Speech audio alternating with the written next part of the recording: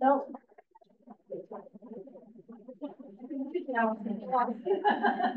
Uh, thank you for coming. I thought maybe nobody would be here. We're sort of out on New River and our house was buffeted by these amazing winds all night long. I thought, oh, trees will be down, all sorts of stuff. So, so you guys are ha- hardy people, which is what I would expect of of this island. Uh, again, my name is Nancy. Um, I, I, for the last thirty years, been at Utah State University, uh, where I, uh, was in the, um, in the Natural Resources College and in the Watershed Sciences Department. And, uh, so I, I was a state water quality extension specialist and I taught some classes. And one of the classes I taught was, uh, was an oddball one. It was oceanography in the middle of Utah. Um, but it was a non-majors class. And uh, I took that, I took that class really seriously because it was all these students that never had had a science class in their life. And with oceanography, it's a chance to teach people how the world works is the way I view it, you know, because so many things are informed by our oceans. And so, um, so one of the other day asked me to, or for this um, volunteered me to give a talk, and I said, what do you want it to be about? And she said, oceanography. I thought, well, we have a semester. so I've been whittling it down, and I'm not sure I got it whittled down quite as far enough. So we're going to sort of go a little lightly over the surface on some things, I think, but that's probably good. I thought we would talk, I thought it'd be interesting to talk about water movements in the ocean. And I think a lot of us stand on the beach and look out and see the waves, but we're not totally sure. Some, some of you are sure on fish, and so you got a much better feel for that, or you've been on cruises or whatever. But um, so we're going to talk about how water moves across the oceans and the implications of that, you know, what that means to us, and mostly just a few examples. So I thought I'd start with a little show and tell here. You guys have seen this before, I'm sure. I found this one on the beach just in, at, um, near Newport um, in 1992. And um, which is cool, back when you could still find these. Um, where did it come from? Yeah. Did it come from Brazil? In fact, it would have been almost impossible for it to come from Brazil. Uh, which is, uh, that I, at the time, I was, what I know, I was just a dumb kid, but, um, and, and just learning that this thing had gone all the way across the ocean from a Japanese fishing net that had broken free from, uh, just inspired me to learn more and more about it. So I'm hoping that we can kind of, if you've got questions, let me know. We'll just go kind of uh, work our way through this and, and see how it goes. So Ocean in Motion, which is mostly the title because it, it sounds good. And now, you want to unfreeze it? This is- All right, everybody pray. I'm a tech specialist because I'm not the one. Yeah, and I don't know very much. Okay. Let this thing rest for a minute and it, it, it decides. We've got Zoom involved and so that always gets kind of funky also. Let me keep talking while we get this going. Christine, do, can you imagine what's going on here? We all got here early, so this wouldn't happen. Little button Um. Oh, just click on Okay, it. so if you're standing at the beach and you're thinking about movement in the ocean, I think the waves are the obvious, you know, thing to notice, especially recently, you know, but they're a very obvious feature of the oceans. And, and, uh, and I'm not gonna talk about them very much because, um, I- I'm just gonna stand up here because I need It's the, the left button. the left button. Um, uh, other than just, just very briefly, uh, and then, but, but we have a lot of different kinds of waves in the ocean, and we'll just kind of flip over those real quickly. And then I want to talk about currents, which is masses of water that are moving across the ocean. And we have localized currents, we have gyres or eddies and, and, and all sorts of interesting movement. We have movement in the, the surface and towards the bottom of the ocean. And there's no time to talk about all of this, so I'm gonna sort of hit some highlights and, and see where that, where that takes us. Um, see, the, um, just a couple of slides about waves and just what I call wind waves. So wind waves are caused by the friction of wind over the, over the ocean during storms, big storms, kind of like what we're having here. And you know, because you lived, live here, that a few days after we get a big blow like this or a big storm, we'll get some really big waves. And it's because the waves are, or the, or the, the waves are formed out where the, where the storms are. And the, the waves just head out from that center in all directions. But the ones that are heading towards us kind of sort themselves out, so they start kind of aligning. And you end up with, uh, what's called swell, which I'm sure is not a new term to most of you. And, um, and these waves are not, they, they, don't interact with the, the ocean floor. They don't do much of anything other than just transfer pure energy across the, across the surface. In this case, across the surface between the sky, the air and the top of the water. And so you get this typical wave motion. And the only water that's moving underneath or that, that- that's involved with the wave itself are these weird little circular orbits. I thought I had a slide for this, but I, I don't wanna, can I use the arrows still? Uh-uh, use the, the. How do I go backwards? Okay, never mind. Um, That's right. No. Don't, don't touch it. There you go. There you go. Oh, okay, okay, so, and then the left is to go forward again? Yeah. Okay, the, um, You wanna go back? I'm okay. Oh, I lost the slide. Let me go back. I apologize, this is the kind of thing that makes me crazy. Okay, no, no, forward, forward. There we go. Okay, so, so these little circles are supposed to be the motion of the water molecules. They go under a wave. So a wave goes over the surface and the only water that's actually moving is this little orbits of, of water molecules underneath the crest of the wave as it, as it travels past. And you may have experienced this if you've gone swimming in the, in the ocean. You sort of feel like you're in a washing machine, you're going back and forth. And that's exactly what's happening. So these, these little orbits cause another little orbit. So here's the surface, another little orbit that starts right below that from the one above it, and another little one below that, and smaller and smaller motion until you get to a depth that's about half the total wavelength of the, of the wind wave. And, um, and that's, that's the, that's the motion of the ocean associated with these large swells and waves out in the, out in the middle of the ocean. When it gets to the shore is when it starts, all this motion starts interacting with water, with the, with the bottom of the ocean.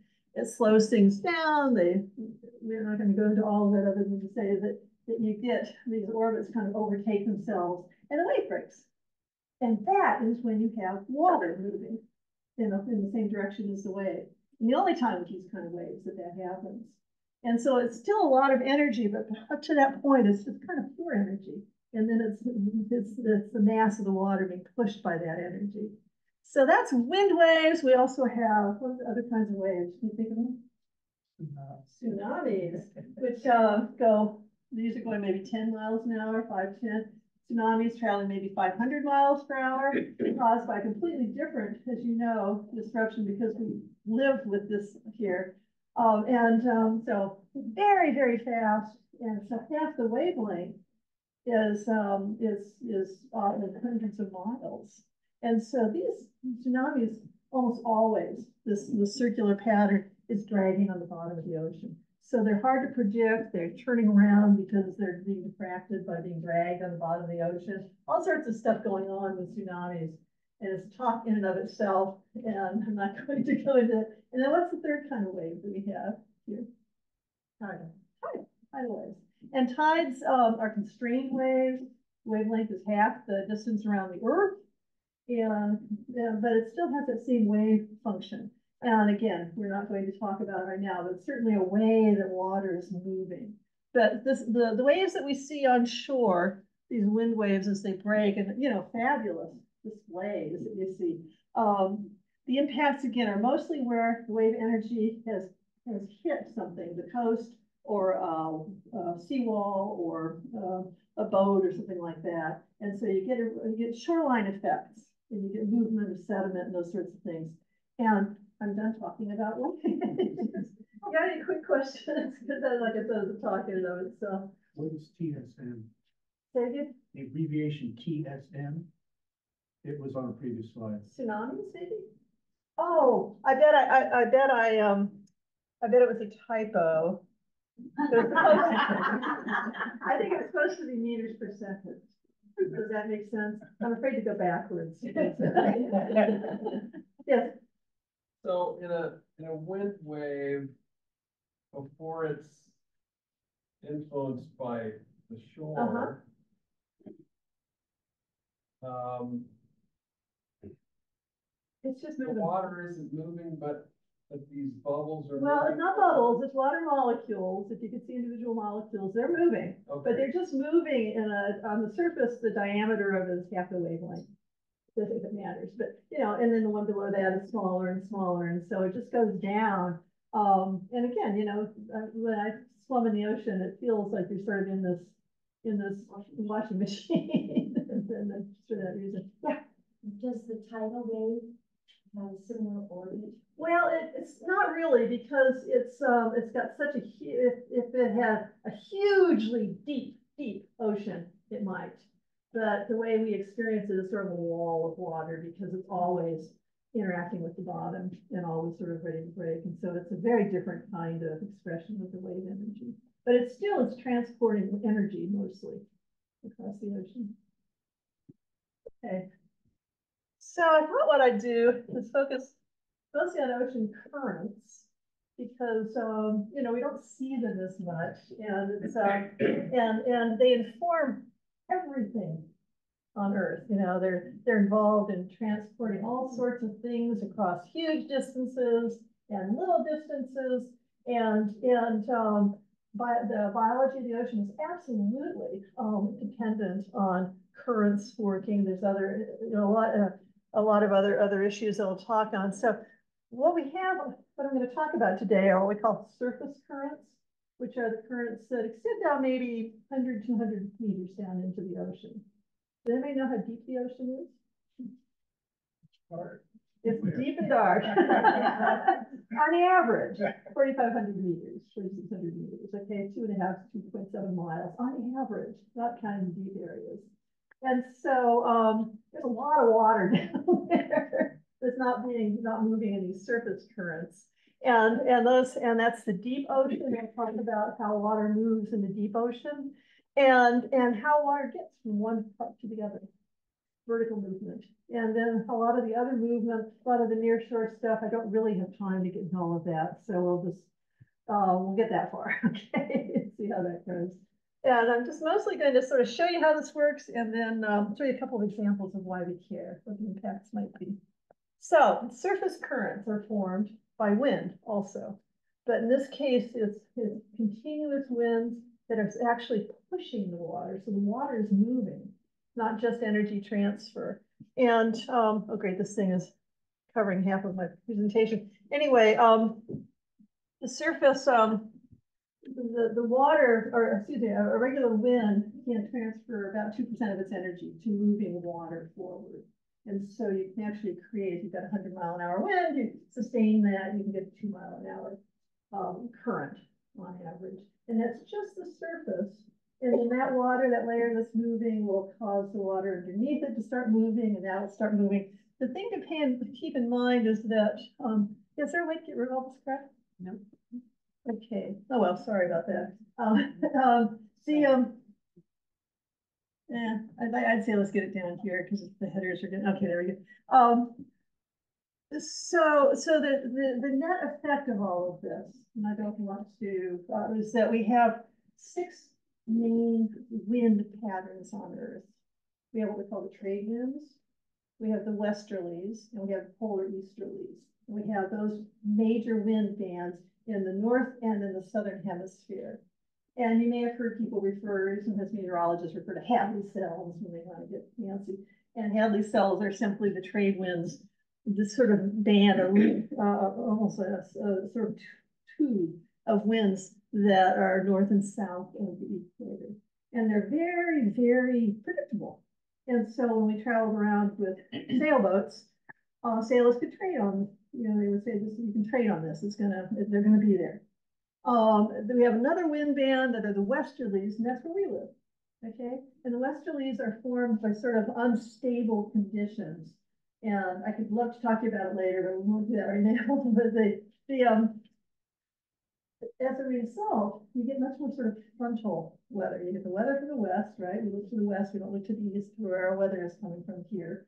If we were down, us- uh, down in the southern hemisphere, um, in the westerlies, we would look, uh, to the west also. It it turns out it's the same. And, and, um, a lot of, a lot of, um, big storm systems, a lot of very dynamic behaviors, or, uh, air movement in the westerlies. And then we have the polar easterlies, which are way up at the poles, as it suggests, and heading again. So big objects moving over the earth, if the earth is spinning, tend to be deflected. And, um, just take my word on this. Uh, deflected to the right, um, in the northern hemisphere, deflected to the left in the southern hemisphere. And they call it the Coriolis effect, and it's, um, it's because you've got large objects moving over a large spinning object that's a sphere. And so the, the, um, the the surface of the earth, the velocity of the earth is faster here than here because uh, it's all, uh, the whole thing is moving, at is, is rotating at the same speed. And so, um, and so it results in this kind of apparent deflection. It's not really called a force, it's just a deflection. But it becomes really important in terms of how we perceive the direction or how, how the direction of these currents, um, uh, end up, and currents and waves over, over our earth. So we have this kind of strange, kind of you know, bent pattern for the trade winds. They're pushing wind all along at, at a, at a modest rate. And, um, and so if you follow this, let's look at the Atlantic Ocean. Here's the trade winds, these purple ones. They're pushing the water from east to west, down in the tropics, you know, when you're down at twenty degrees or fifteen degrees, you know, you're looking to the east for your wind there, or for your weather. And they're pushing the water, and the water's going, going, going. And in most of our oceans, it hits a continent. Okay? And in the northern hemisphere, it moves to the right. It's deflected to the right. There it goes. Until it gets picked up by the westerlies, and then it gets pushed to the, from the west to the east, until it hits a continent. And it, it turns to the right again. And there, that's it. In the south, it's the same thing. It's, uh, except now you've got winds coming from the southeast and they're pushing it. And so you've got winds being pushed same direction, but when it hits a continent, it goes to the left. And so now you've got a turn to the left, picked up by the southern westerlies, turn to the left, picked up. And so you've got these systems, and if you can't remember anything else, you just have to remember turn to the right, turn to the left, northern and southern hemisphere, and you've got most of it figured out. Um, and, and so I think so the, the end result these major, for the major currents in the, in the world, and I apologize I've lost a lot of content down here. Um, is that, um, is that we have five of these large gyres, they're called, okay? And so we are right here on the California coast, we've named all these different currents, California current, but we're in the North Pacific gyre. And it's going clockwise, and it's picking up this equatorial current being deflected to the north, heading over to Japan, picking up my globe, my, my float, heading over this way, and about two and a half years later, depositing it over here on the, on the beaches, and then continuing on around. And so it's most of the motion in this ocean, currents and the surface currents, is on the edges of it. You've got another one in the North Atlantic, in the South Pacific, in the South Atlantic, and in the Indian Ocean, because India's poking down there, it- there's only one in that, in that particular part of the oceans. So, um, and then we also have underneath this band, um, what's called the Antarctic Circumpolar Current. And that's down there in the wild forties, they talk about it, where there's no continents to get in the way, right? Has anybody gone, ever traveled down to Antarctica and taken a boat over the Drake Passage? How was it? It was a little windy. One of my favorite trips. Yeah, this is uh, where some of the largest waves in the world are, of course. Is also where these, these huge current gets generated because it is never deflected by continent. There's no continents there. And so it just goes and goes and goes and goes. And it is as deep as the ocean and it is wide and it's mixing stuff all the way through the ocean. We'll get back to the implications of that in just a second. But you've got a huge amount of mixing down here in this very deep, huge ocean carrying hundred times the volume of the, of the Amazon, you know, all the, you know, it's, it's huge. And, um, um, bigger than any of these others. I wanna also, yeah, let's focus on that for a sec. Oops, oh, shoot, I blew it. Want me to go back? If you want to, it's, it's just a little to remind me what I'm saying. The, um, so the, the, um, so we've got these surface currents. And, uh, yeah, had a quick question. You said that the currents are moving faster at the poles than at the equator because of the rotation of the earth. That doesn't make sense to me. no, I'm saying that the, earth is spinning faster. Because if you take this, the, take a pencil and draw the, the line around the earth at high latitude up around the poles, the shorter distance. Right, so it turns, So so it's it's moving slower. It's doing the whole revolution, uh, at the same time that the equator is doing the revolution. It's, it's actually been faster. The equator's moving. No. down Oh, yeah, I'm miles sorry, per I'm hour. sorry. There are people out here that are supposed to correct me when I do these stupid things. That's exactly, no, you're exactly right. and I, I just said it wrong. I I apologize. Yeah, no, that it's, um, the equator is going faster and it's slower as you go to the north and the south. I apologize. So are the currents moving faster at the equator than at the pole? The current is constrained by the movement of the water itself. And so it's mostly just, it's not really speeding up. But the deflection is caused by the, the, the different movements of the, of the water relative to the movement of the. So one more question, so I know what you're talking about this whole time. Well, I didn't As did opposed I? to wave, is a current moving water or is it energy moving through water? Yeah, a current, good question. And the current again is a mass of water. It's moving in one direction. Okay, it's just a mass of water. And it carries with it whatever properties it has with it, temperature, salinity, all those sorts of things. Whereas the, the, the wave is, is energy with a little bit of weird movement and transferring that energy. So in a minute, we're gonna talk about piling up water by the wind. So the wind's doing all sorts of different things to water. But in this case, it's sort of starting this current that's kind of moving along. And so I, I didn't know any of this stuff when I was a kid growing up in Nebraska. I never thought about it at all. And the only people I think that really thought about it were the early sailors and folks that were out there trying to do things. And so we had observations by sailors over the years of, of the currents. And so people had a pretty good feel, especially on the well um, studied or well-traveled parts of our globe, uh, that there were currents and that they were doing different things, but they weren't well understood. The, um, but we do have those observations. We also increasingly had observations of objects floating in those currents. And so things like, you know, the fish float, but also these days trash, but also bio, uh, biological organisms, you know, all the plankton and, and, um, you know, um, jelly, sea jellies and things like that are being moved, uh, by the currents. We have, um, the distribution of, um, we can look at, at the distribution of water with different properties, if you can figure out how to measure that, I'll get to that in just a sec. You can do direct measurements by putting buoys or electronic or, or sub- submerging buoys and measuring them electronically, having it send a signal. That's how we know when a, a, we can precisely say when a, for example, tsunami is coming our way. because We can, we can measure, you know, the little bit of movement on the surface of that. But what has really, really been a game changer is satellites. Satellites are, are what allowed us to look at the Earth from a distance. And so, uh, all of a sudden you could see that it wasn't just that ocean and this ocean and this shoreline and that shoreline. It was an integrated system. Some people call it a, a heat engine. It was one huge system.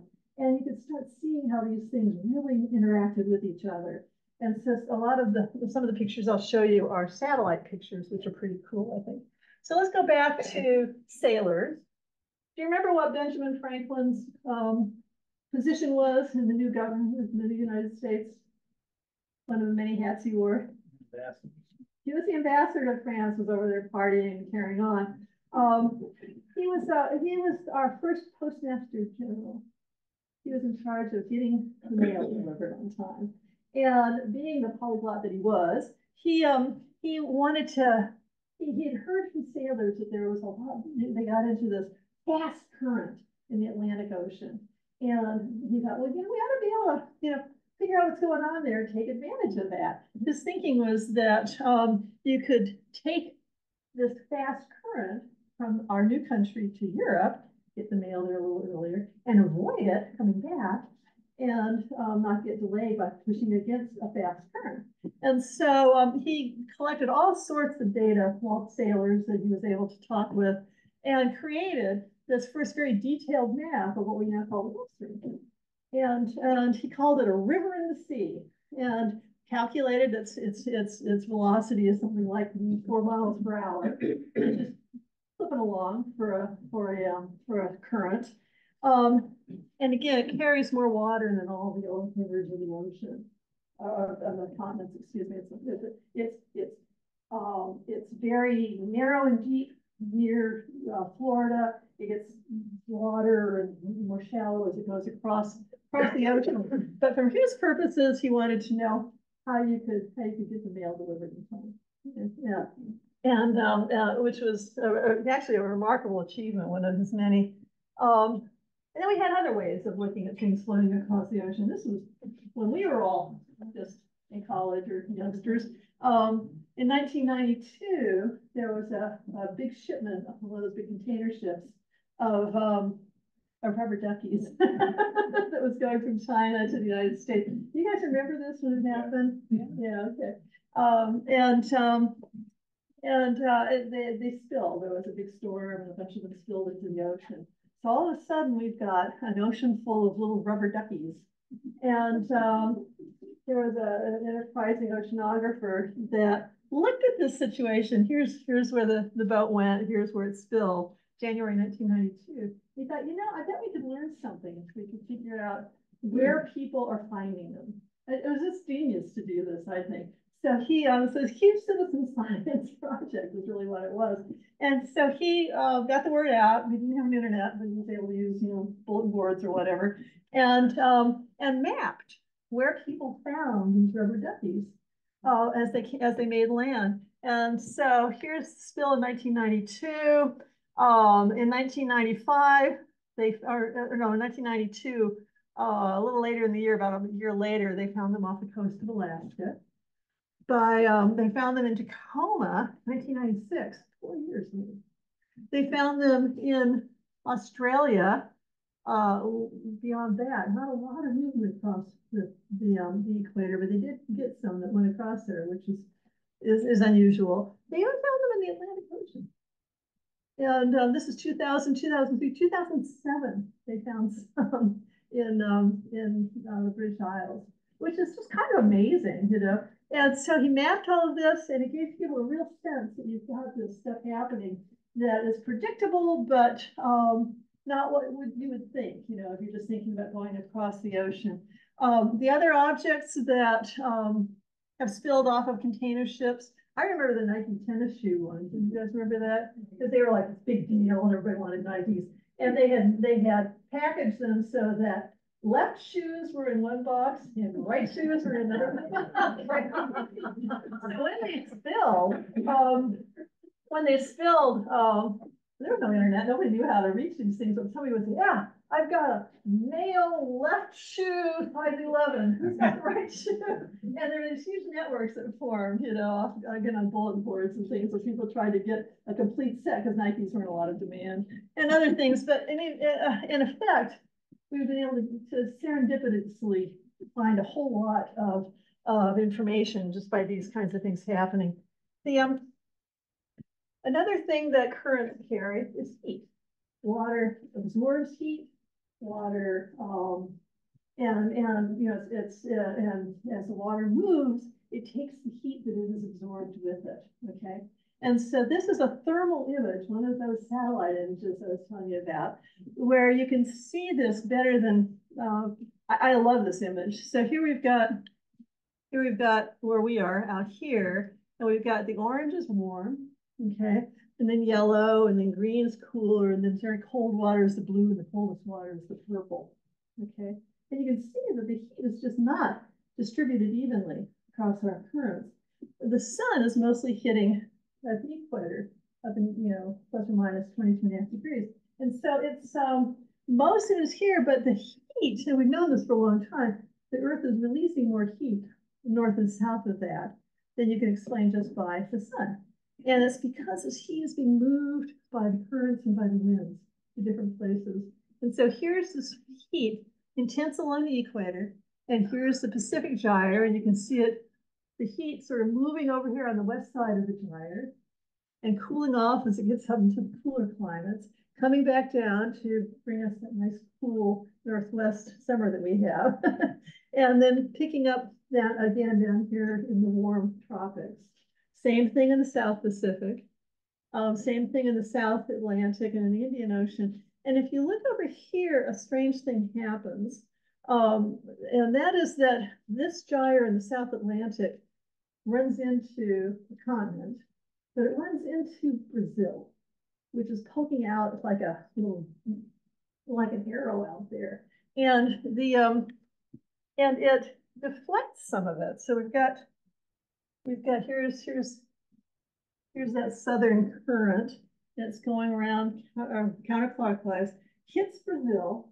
Some of it goes the way it's supposed to go, left, because it's the deflection in the southern hemisphere, but some of it gets shunted to the north and actually crosses the equator, which is really the only place that happens in, this, in surface currents, and joins this other current, and so it's subsidizing the North Atlantic current, and um, and that's one of the reasons that the Gulf Stream is so powerful because it's subsidized from water and the heat energy and other things from the south. Which um, and so here you can see the Gulf Stream coming up and kind of petering out as it goes out into or temperature anyways, it goes out into the North Atlantic. Okay. Um, the um,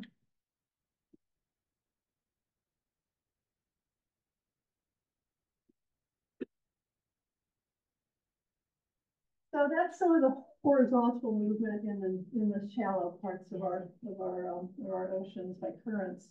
Oh, I'm sorry. Oh, uh, is that satellite picture from a specific season? It was two All year thousand long? six and that was, a- they had combined them. I think it was for a whole year. Oh. okay. Yeah, yeah, that was, a So that was that's an average. It- In the season?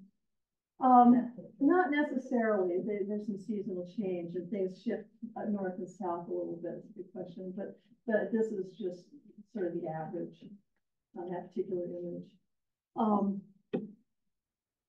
this, we're simplifying things considerably, as I'm sure you can. Which helps me anyway. So, um, so I want to talk about the, what happens, you know, all of this water is moving around on the surface. Is nothing happening down below? Is it water just sitting there? It's not being moved by the winds, right? The winds aren't involved in this. Um, they can't reach the water below the surface. And so what tends to move the uh, water vertically, up or down, is masses of water that are either converging on each other or are diverging away from each other. So when they are converging, when currents are coming together of any couple of different means, what happens is you get too much water in one place and the water is forced down by gravity. And so it sinks and it sinks until it reaches someplace down in the ocean that has the same density that it has. And so, you know what I mean by density of water? It's the mass of water in a- unit volume or the mass of anything in a unit volume. And so what increases the density of water is to heat up, the is to cool off the water, excuse me. The cold water is more dense than warm water and making it saltier.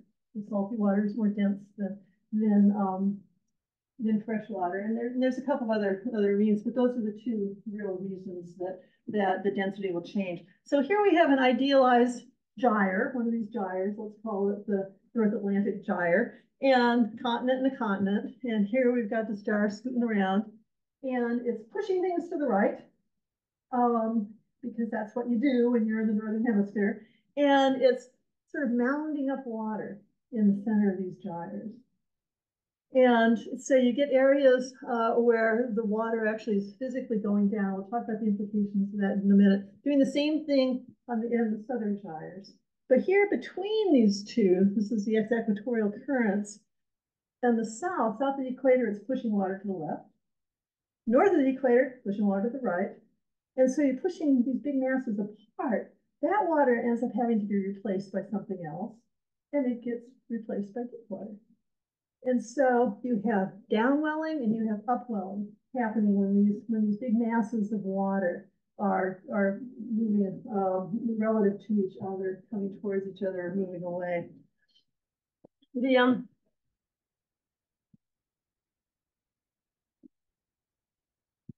I don't think this is going to be very helpful. So convergence of of of, of uh, currents causes downwelling, that's just the term we use.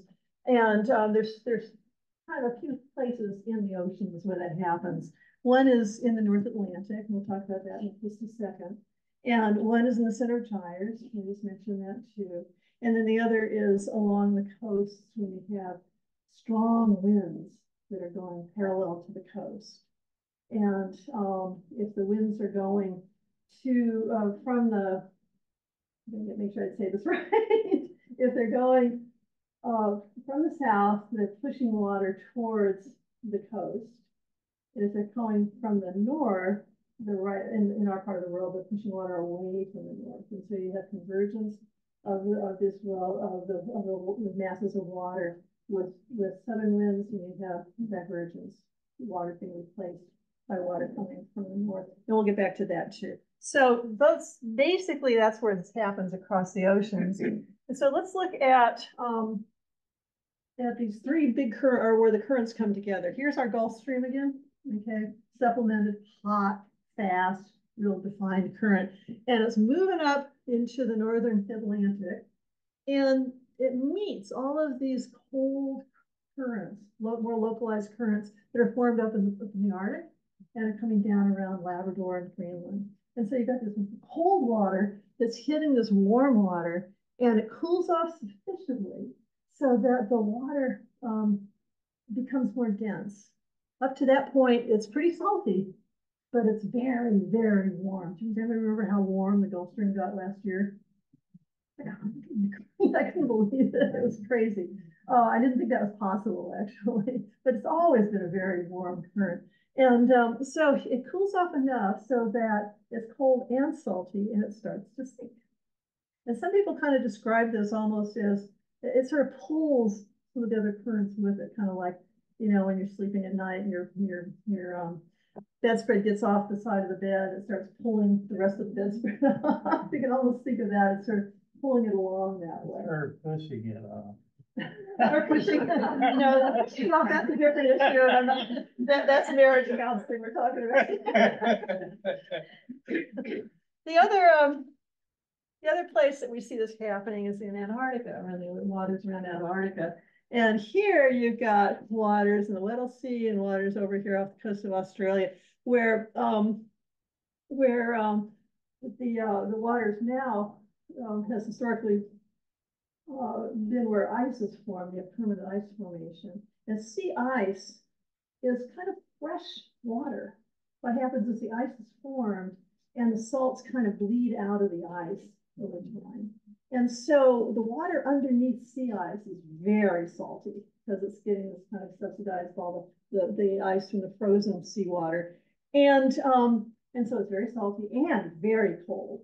And so this is the densest water on Earth being formed over here. Yeah. So, does this, does the dead zones play into this? Not these, no, no, that's a more localized effect. So let's finish uh-huh. this and we can talk about that later. I wasn't gonna talk about this. It's- Yeah, there's so many things going on.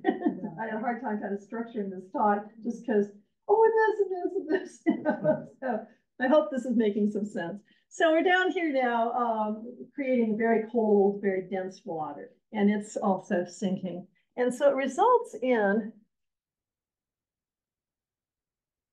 this kind of interesting stratification of big blobs of water, big masses of water in the deep parts of our oceans.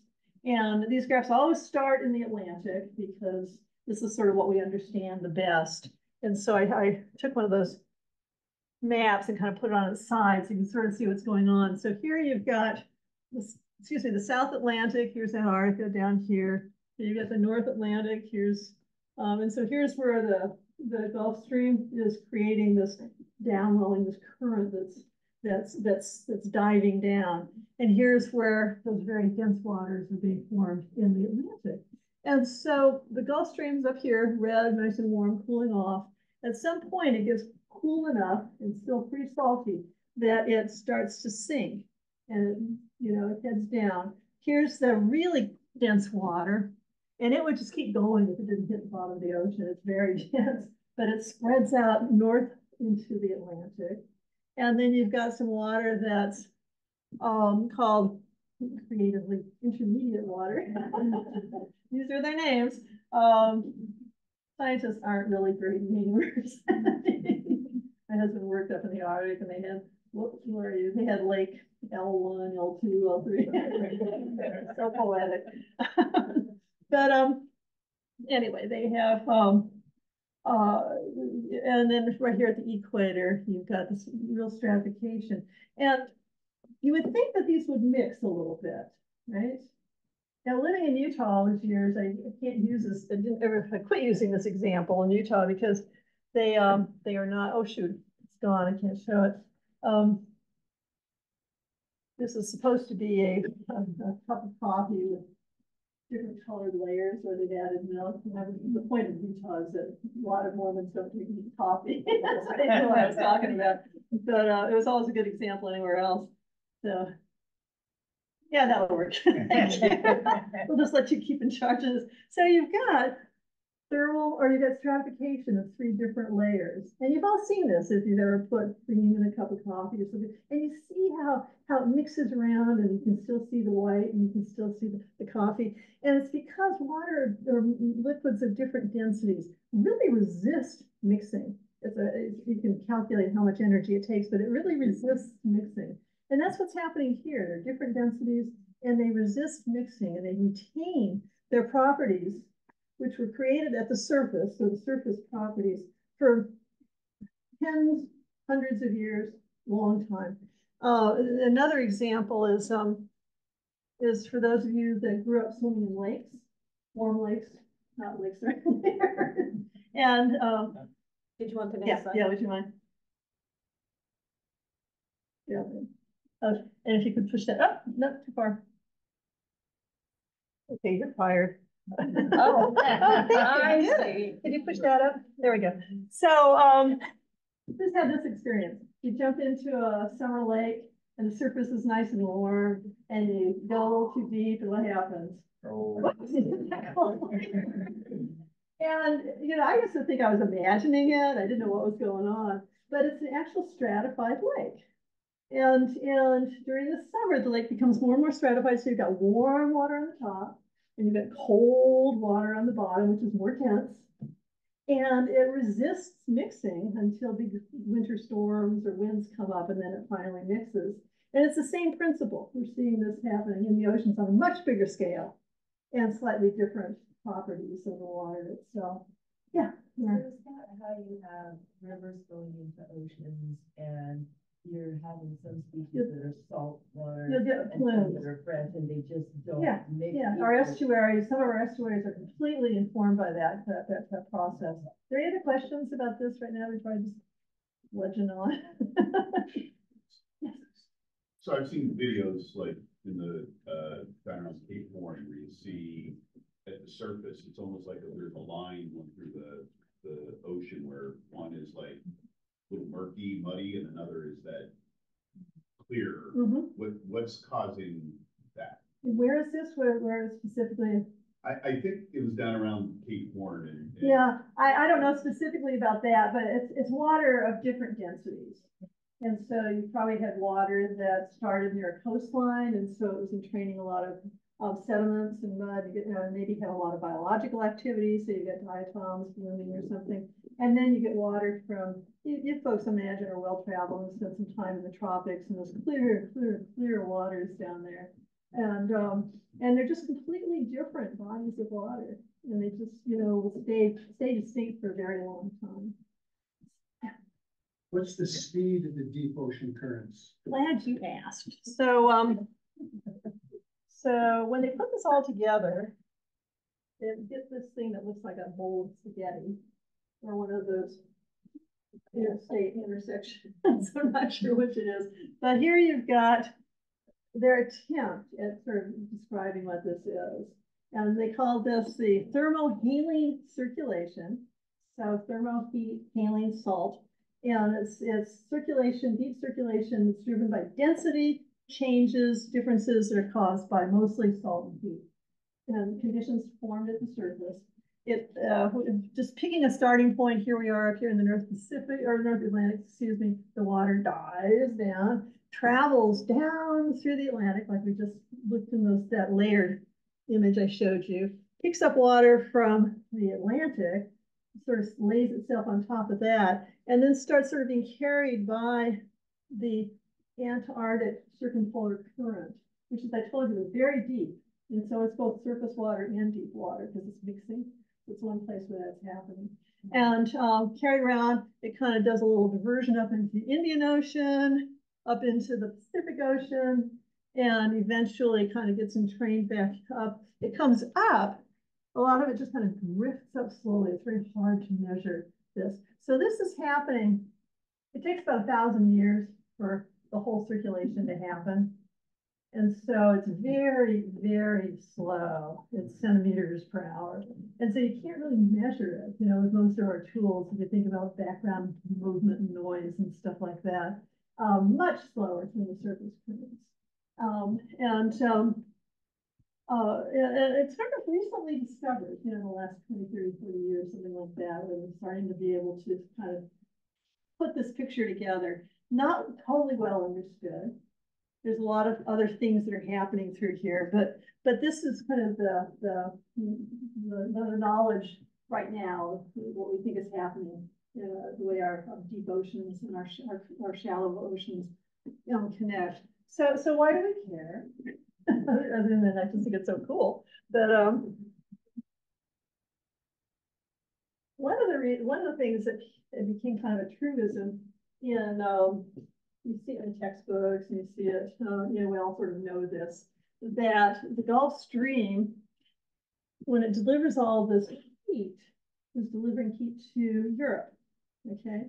And so Europe and the British Isles were warmer than the um, than other continental areas nearby, certainly others of the same latitude on the North American continent. And it, you know, I taught this stuff and we used to say, yeah, you know, we talk about these little ice ages that happened. There was one during Shakespeare's time that extended uh, for hundreds of years. And some of them turn on and off and we were talking and, and it was all attributed to this heat loss up from the Gulf Stream as it heads north and, and east across the Atlantic Ocean. It's a great story. Here's a picture of Washington with a frozen Delaware River. And here's a picture of the Thames frozen solid, you know, you've got, um, and it catches our imagination. Um, turns out it might not be true. uh, there's um, more sophisticated computer modeling that's now being done on heat transfer across the oceans.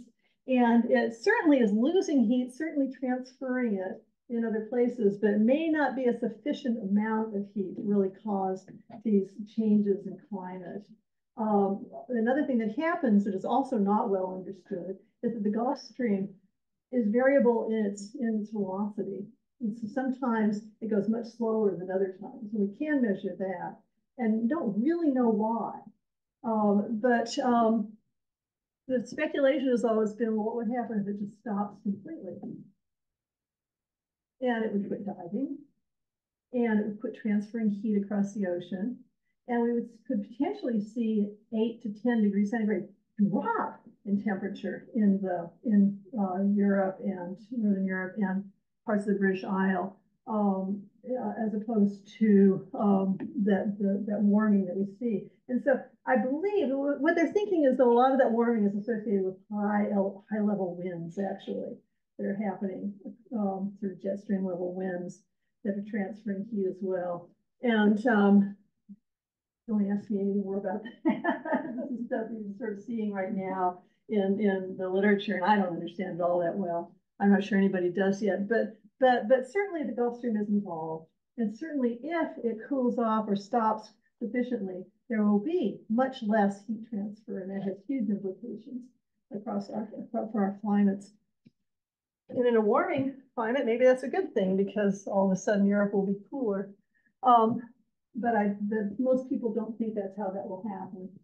So, um, and it's, it's sort of, you know, mysteries of the ocean. That's the way it's kind of treated. But has anybody heard about the, the business of the, of warming up the these few people, not, not too many, okay. Um, you, you get it in a lot of, um, high school science books and oceanography, uh, sort of introductory oceanography books. And it's taught as if we really understand it, but it turns out we don't. So I just wanted you guys to know that. Um, another thing that currents carry, of course, are organisms. And, um, plankton being, uh, you know, transported to a huge extent by, by the currents. And by plankton, I mean these microscopic plants that live in the surface of the water. Are there forests in the ocean? Yep, well, yeah. Oh, yeah, hundred meters deep, maybe three, couple hundred, two, three hundred feet max, because they're constrained by gas movement. How about in deep ocean? Wheat fields, none of that, right? None of that at all. And so the oceans have a different strategy for their primary production. They don't put a lot of effort in infrastructure, they're not building trees. What they're doing is they're building their, their, all of their primary production, all the plant work, almost all of it, is done by these microscopic organisms. They're kept in the top levels of water because they need light, and the light is at the surface. All the light in the ocean is gone by thousand meters. The ocean itself is profoundly deep, dark. And um, only light is the light made by the animals themselves down there, the plants, yeah, and flashes. Uh, so they're constrained by that, and they're out of nutrients often. Um, and so we've got um, uh, a, a need to sort of plant food for them. And the trouble is that these things get disconnected in the oceans. So you've got all the sunlight at the surface, and you've got all the nutrients that have sunk down in dead animals and plants as they die. And so they come down, down, down through and, and drip down into the bottom. And so you've got what you need to grow a good plant disconnected.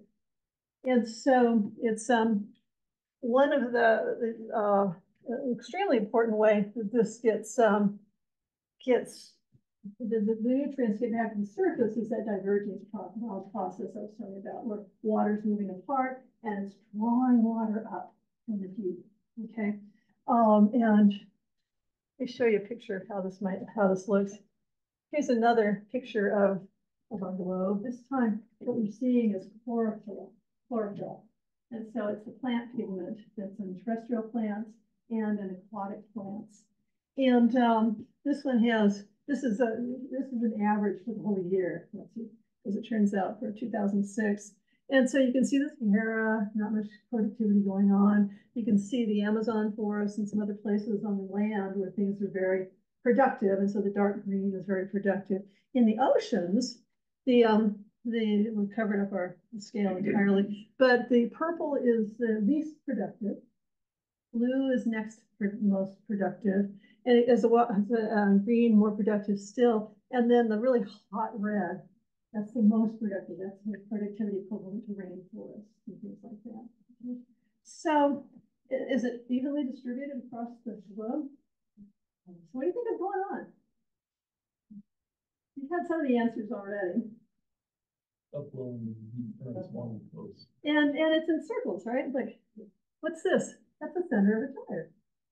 Okay, and there's just a little purple there, the center of the gyre. Another center of the gyre, you can see some purple over here in the Pacific also. So the gyres and the centers of them are kind of like deserts. Not much going on there at all. And because the water's going down, it's keeping the, um, the nutrients from getting up to the plants. There's a guy that was studying this years and years ago, and they thought it was iron was the, um, limiting nutrient. And the famous quote is, give me a barge of iron, I'll give you, uh, an ice age, I think is what he was promising. he wanted to change the climate by that. And they tried it, and we didn't do it. The iron sinks out too fast because it's, it's being pushed down. But, but it is nutrient depletion in these areas. And areas where we see upwelling along the coasts and here between, along the equator and here along that Antarctic circumpolar um, current is where you get high levels of productivity. Who grows down here in the Atlantic, the, excuse me, the Ar- Antarctic circumpolar current? That's where all that krill is being produced, where the whales, huge whale populations are feeding on just this abundance of stuff. And um, anyway, we've got um, very productive areas, um, but most of the ocean is is not very productive at all, and it's determined on whether you've got water coming up from the deep or not. Okay. The um, I'm going to run out of time, and so I don't want to belabor this. You folks have been so nice to sit here. Um, I was going to talk about El Nino. That shall I? Okay. Uh, so one of the places that we have a significant impact by the currents uh, and the winds um, is, is the El Nino events, the El Nino's um, Southern Oscillation ENSO events. And this is um, resulting from large movements of water. This is from across the Pacific, the Southern Pacific Ocean.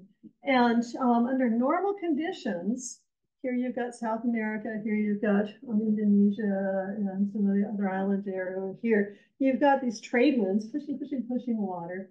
Um, these are supposed to be high elevation winds, and so this is what's on the surface.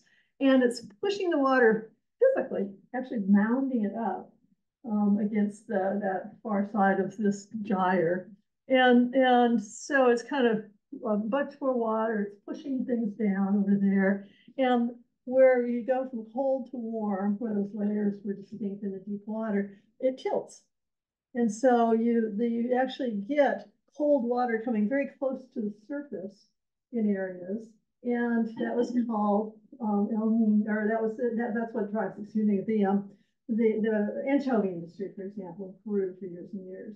They would count on this nutrient-rich water coming up off the coastline of South America, feeding the zooplankton, which the fish then fed on, and they had this amazingly productive area. Um, and so this is kind of this, the, the um, typical situation. And an El Nino event is when things stall out a little bit. And so, oh, excuse me, here's another image of the typical situation.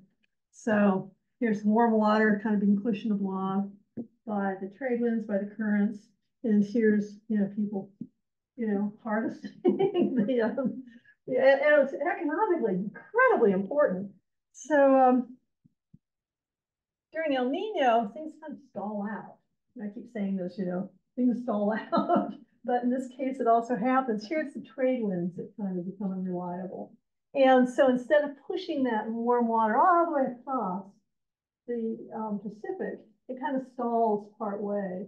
And uh, what happens is that you don't get that, that nutrient-rich cold water, that layer tilting enough. And so it never reaches the surface. And so now you've got downwelling off the coast of Peru. And it's, well, we experience it as big storms and changes in the climate, changes, changes in the weather. Uh, in those areas, they see it as a crash of their fisheries because they also lose that. So there's all sorts of implications. Um, and um, we're sort of in an El Nino right now. And it turns out these things last for two, three years. They oscillate between the alternative, which is the La Nina, and then sort of what's normal is kind of the tilting point between them.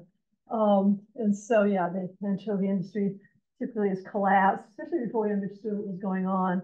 Um, and, and, again, as you can imagine, has huge impacts on marine biology across the oceans when this is happening.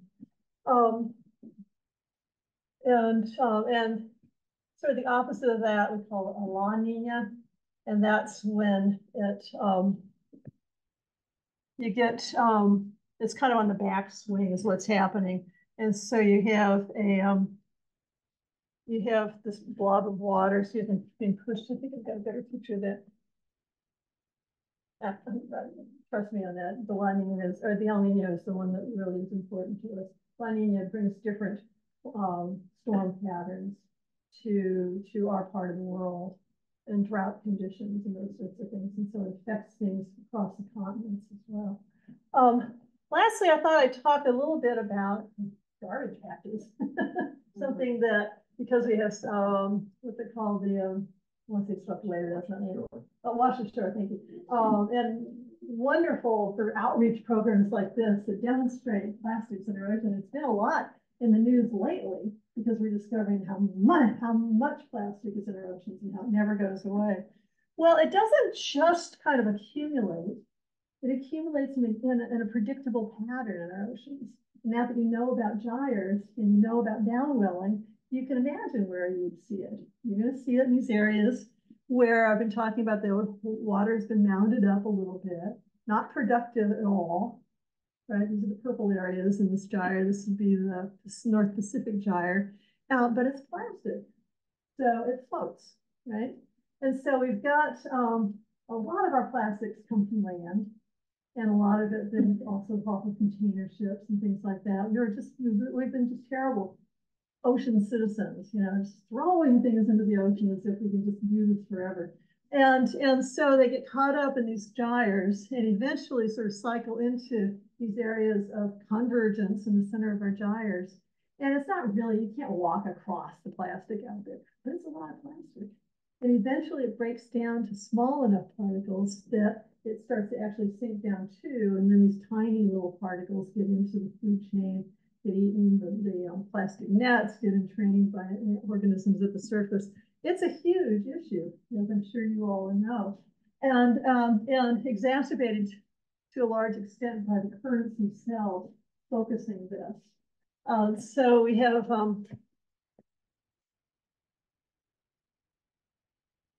a lot of, you know, you've seen these sorts of things. And the, the way we're going to fix this one, folks, is simply getting plastic out of the oceans and going out there with the harvesters, it, it it's a feel good thing, it's an exercise. They, they can't really remove that much plastic. There's thousands and there's so much plastic in the oceans anymore. So we're gonna have to stop the source of it and then let it sort of work its way through. But I, I just put that up there as sort of a little PR thing. Um, so anyway, uh, that's just a tiny little sampling and um, and you know, maybe it'll whet your, you know, enthusiasm to look into it a little bit more. But we do have a lot of energy uh, with our waves. It's moving waves, you know, um, that's moving energy and then transferring that to objects, mostly along the edges of our, our oceans or objects that are floating in the ocean. And then we have currents that are actually moving bodies of water, masses of water in this huge thousand year circulation that goes from the surface down to the deep water and covers all of our oceans because it's all one ocean, it's all connected. Um, causes, transports heat, transports chemicals and nutrients, transports organisms, transports trash, and um, causes both predictable changes, but also some unpredictable changes. And I throw in this thing about climate here at the end because these temperature differences that we're seeing are not very significant. They're not huge in the oceans, and yet it's enough to really change the density of the water and change the properties of these currents. And so if we're talking about raising temperatures of our oceans by just a few degrees centigrade as a tipping point, that can have huge implications on how these currents set up and how they move. Um, with climate scientists, especially, they tend to work with long data sets of the, past.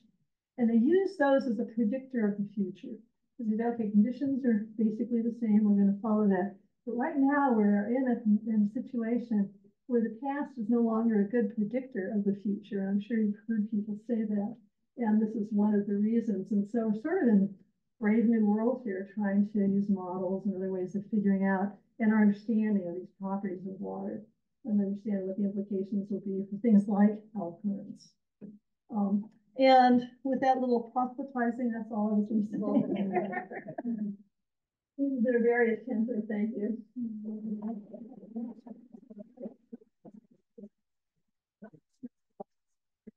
I'm over my time. Shall I answer a couple of questions? Oh, I have two hours. Oh, well. I'll take some questions if you have any. He's been really good about asking questions as you go along.